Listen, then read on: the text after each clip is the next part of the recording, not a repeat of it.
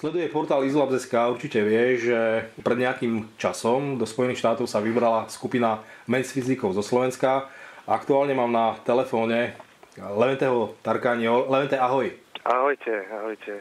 No ja som povedal men's fyzikov, ty si v skutočnosti klasický kulturista, teraz súťažíš v kategórii muskulár men's fyzik, alebo skúšaš to súťaženie v tejto kategórii. Ako sa ti pozdáva Amerika, prvá otázka, ako sa ti pozdáva súťaženie v tejto kategórii? Trošku to popravím, nie je to muskulár fyzik, je to klasik fyzik, čiže klasická kulturistika v Amerike. Uh-huh.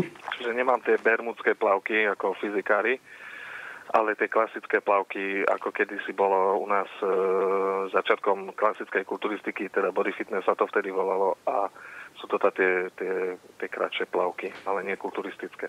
Rozumiem, ja iba pripomeniem, že vlastne tie, tie plavky, tento typ majú fitnessáci, tak? E, áno, presne, presne tie, tieto plavky. My sme sa o tom bavili aktuálne na majstrovstvách Európy aj na amatérskej olympii s e, Pavlom Filebornom, že bolo by dobre to nejakým spôsobom rozlišovať, že treba tá kategória muskulár, men's fyzik by mohli mať práve tieto plavky z toho dôvodu, že keď ľudia pozerajú na tie, na tie fotografie, oni nevedia nájsť žiaden rozdiel. OK, takže máme to vysvetlené. Poďme hovoriť o tom súťažení. Takže ako prežíva súťaženie USA Levente?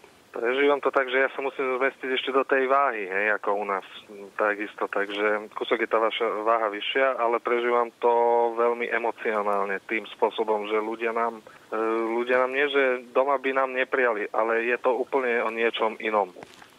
Ľudia nás zastavujú po uliciach, pozerajú sa, pýtajú sa, že či sme kulturisti, či, či sme fitnessáci, alebo že či cvičíme, ako dlho, koľko vytlačím. Včera sa ma pýtali na bezinke, wow, koľko je to impresívne, koľko vytlačíš, hovorím, tak fú, my sme z toho trošku tak mimo ešte, hej, zbierame tie emócie dávame dokopy, ale je to všetko také príjemné. Uh-huh. Videl som, že ste už súťažili. Videl som ťa na fotografie s nejakou trofejou. Pochval sa. Za čo to bolo? Tak e, vyhral som, vyhral som kategóriu klasickú kulturistiku, teda klasik fyzik a stále tomu ešte nemôžem uveriť, ešte mi to asi tak nedošlo. Svieti mi túto tá soška, nemôžem sa dočkať, kedy ju donesem domov a ukážem, ukážem im každému, kto, kto mi prijal, lebo strašne veľa ich bolo. Ľudia si myslia, že keď prídu Európania do USA, tak e, budú ťahať za kratší koniec. Nie je to pravda.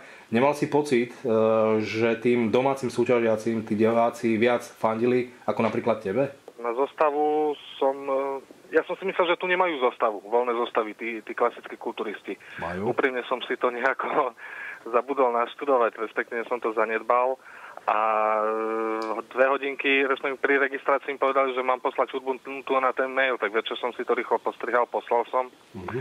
tú hudbu, ktorá ma chyt, chytila najviac, čo šla v rádiu dostavu som išiel už e, čisto z improvizácie, tak jak som to cítil. A ľudia začali tlieskať. Nikoho som tam nemal, nikto ma nepoznal, žiadne meno, žiadne zázemie. A tým pádom e, ja som, bol, ja som išiel ako sú, posledný súťažiaci. Predchádzajúcim e, bolo hľadisko v podstate ticho, v hľadisku a zrazu mne začali tlieskať, pískať, kričať, že wow a ja som z toho mal zimom mravky, ešte teraz, jak vám to hovorím, mám zimom mravky, takže nie, nie, nie, nie je to tak, že by, že by nás odsúvali. Len pre teba to je prvá hm, cesta do USA? Je to prvá, áno. No ako vnímaš Ameriku? No boli sme zatiaľ vo Vegas. Pre mňa je to príliš megalomanské. Teraz sme v LA. Je, no je to niečo viete, z malého mestečka z Rožňavy, ešte aj Košice sú malá dedina v podstate oproti tomuto. No, nestí, nestíham to hotať, toto celé. Je to... No ťažko to vysvetliť, treba to vidieť. Je to úplne iný svet. Súhlasím s tebou, ja som z Vranova, to je ešte menšie mesto ako Rožňava. Vy to máte komplikované, ten pobyt, ešte aj tým, že súťažíte. Ako ste na tom so stravou? Ako riešite tento problém? No, zatiaľ sme nemali nikde kuchynku. Čiže Čiže fakt e, nízkotučné, nízkosacharidové šunky, čo naj, najjednoduchším spôsobom upravené, balené meso, e, zelenina sáčková. Takto, takto to riešime, takto to nakupujeme, improvizujeme. No keď sa chce, tak sa dá, ale už mne osobne mi to už lezlo na nervy, tá studená strava, už mi to žalúdku strašne nerobilo dobre. Začal som to pociťovať, myslím, že aj ostatní a No, ale dá sa, dá sa. Vždy sa dá vynájsť nejako. Samozrejme, nejaké riešenie sa, náhradné sa nájde. Ako ste na tom s tréningom? Stíhate vôbec pri tých presunoch z miesta na miesto trénovať? Tak v predchádzajúcom hoteli sme mali fitko priamo, takže tam sme si zacvičili. Je, fitek je tu habadej, čiže keď sa chce, tak sa dá. Ja si ešte aj dnes idem zacvičiť, preto lebo som na to zvyknutý, ešte idem pred súťažou. Je to možno trošku nezvyčajné, ale ja neodvodňujem. A asi idem ešte zacvičiť dnes, trošku to vypotím. Nedaleko sú asi 3 fitka, pešo je to možno pol hodinka, čo som si vygooglil, takže nie je to zase až taký problém. OK, Levente, ďakujem pekne za tvoj čas. Nemáte zač. A držím palce. Ďakujem. Peťo. Peter Košárko je už skúsený e, zaoceánsky súťažiaci a pripomeniem, ty si súťažil v USA pred rokom či pred dvoma? A v roku 2015, niekedy v oktobri, čiže taký rok a pol až dva roky. No. Tak, tak, ja to registrujem. Takisto si bol uh, úspešný. Áno, vtedy som skončil na druhom mieste. Tak, dobre si pamätám. Ako to je v tomto prípade? To znamená, ak máš porovnať ten rok 2015 so súčasnosťou, čom je to iné? Čom je to iné? A myslím si, že tá látka je dosť vysoko, zvýšila sa. Uh, tí súťažiaci sú mohutnejší, sú viac uh, svalnatejší, čiže tá úroveň šla rapidne hore. Hej. Treba pripomenúť, že vy súťažíte vo federácii NPC. NPC je členskou federáciou tej svetovej federácie IBB. Bolo ťažké získať súhlas od našej asociácie k súťaženiu v Amerike? Tak my sme písali, v podstate Levy písal za nás požiadavku, že sme mohli štartovať. Nemyslím si, že tam bol nejaký problém, čiže nebolo to e, komplikované, čo sa týka našej federácie e, s povolením štartu. Ty súťažíš v tej tradičnej tvojej kategórii, to je men's physique. Levente vravel, že dosiahol to víťazstvo. Bolo by dobre povedať, e, ako si uspel ty a aká to bola súťaž? Takže ja som sa dostal do finále, kde som obsadil 5. miesto. Uh-huh. A súťaž sa konala v San Diego a súťaž sa volá NPC Southern California. Uh-huh. Počul som, že no, teraz cez víkend vás čaká ďalšia súťaž. Čo to je?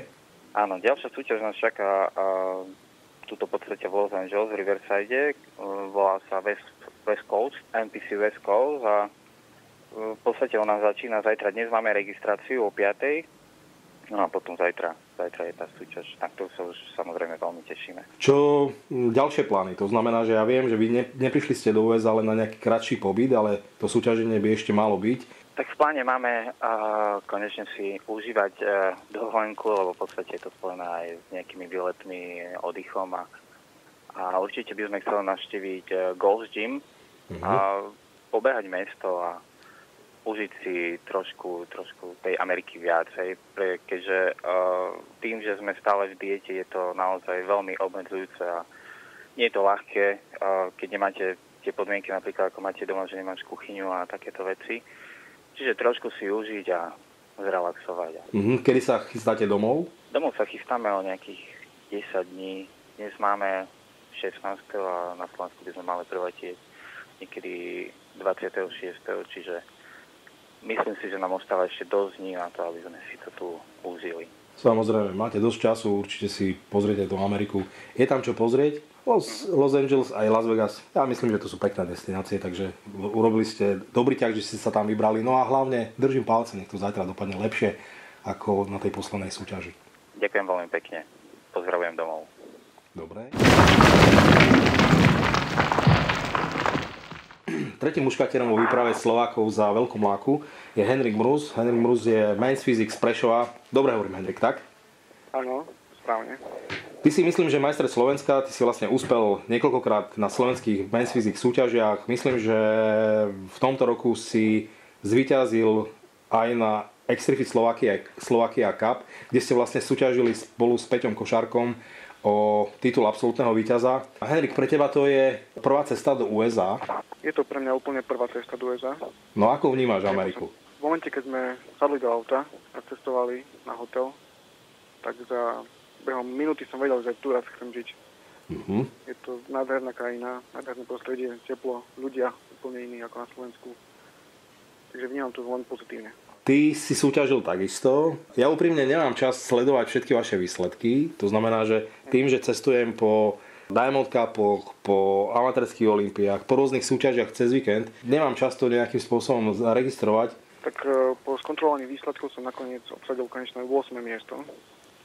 Uh-huh. Trošku sklamanie, ale tak aspoň mám motiváciu zabojovať, e, dosiahnuť ďalšie súťaži lepší výsledok. Rozumiem. Keď si sa pozeral na súperov, v čom boli iní v porovnaní s tými na Slovensku? V čom, v čom ty si podľa, podľa svojho názoru pred nimi a v čom zaostávaš? Čo sa týka formy, tak formu som mal možno najlepšiu. Neboli takí vyrysovaní, ako boli my. Mm-hmm. Oni kladú dôraz skôr na ten objem a na tú symetriu. Chlap, moja kategória bola dosť našlapaná, keď, keď som tam mal dosť uh, Aziatov. Mm-hmm. Úzučké pásy, široké ramena, natreskaný. A hlavne, čo je iné ako na Slovensku, tak uh, prezentácia a posing, keďže na Slovensku máme v podstate len 4 základné pózy, pravý bok a tu na každý pretekár dostane priestor a má približne 10 až 15 sekúnd na svoju prezentáciu a posing, čiže ide svoje solo, kde môže pozvať ako chce stať, ako chce, robiť, čo chce. Proste nie sú žiadne striktné pravidla pozovania a ide len o to, ako on predá svoju formu. Ja ba pripomeniem poslucháčom, že v podstate ten spôsob pozovania aj na amatérských NPC súťažiach je obdobný ako v tábore IBV Pro. To znamená, že vlastne mm, každý súťažiaci príde na vyznačené miesto pódia a absolvuje, tak ako povedal Henrik, individuálnu prezentáciu. Ja viem, že na súťažiach NPC sa platia nejaké štartovné poplatky. Ako to bolo v vašom prípade? Čo ste museli zaplatiť? Tak museli sme zaplatiť štartovné. Koľko? Činilo tuším nejakých 150 eur mm-hmm. na, naše, na prepočet na eura. Nástrek sme si nedávali ako súťažný, mali sme svoje e, nástreky z domu. Čiže sa len tá registrácia plus e, NPC karta súťažná, ktorá nám povolila vôbec štart na súťaži. Tá stala nejakých 120 dolárov, tuším. Uh-huh. A platí na jeden rok. Uh-huh. Bolo by dobre povedať, že čo stojí nástrek USA, to znamená, že 150 treba zaplatiť za štart, 120 je tá NPC karta, čiže to je 270 plus, ak by som chcel... Nástrek tiež 150 dolárov stal, uh-huh. preto sme sa rozhodli zobrať nástrek z domu a uh-huh. robiť to po svojom. Plus ešte sa doplacalo, ak chcel niekto fotografie z pódia súťažné, tiež ďalších 150 dolárov. Ak to nezaplatil, tak ten fotografie nemá. Potom. To je rozdiel medzi Slovenskom a medzi Amerikou. My v podstate všetky fotografie nedávame zadarmo na, na stránku. Myslím, že je to, je to taký nejaký benefit pre súťažiacich. Čo myslíš? Určite. Na Slovensku musíme začať vážiť trošku viac. to sa dobre počúva. Zajtra vás čaká súťaž ambície. Tak určite dosiahnuť lepší výsledok ako na minulej súťaži. Nabral som na prvej súťaži obrovské skúsenosti, keďže som takýmto pozingom a prezentáciou doteraz nemal žiadne skúsenosti. A keď som videl chlapcov predo mnou, ako to tam rozbalujú, tak sa mi trošku akože podlomili kolena, čo to tu vlastne robím. Takže jedno, jednoznačne zapracovať na prezentácii. Forma je, myslím, že lepšia, ako bola na prvej súťaži. Čiže už len to doladiť, zabojovať. Je to posledná súťaž v tomto roku, čiže dať do toho všetko a veriť v top 5, možno nejakú medailu.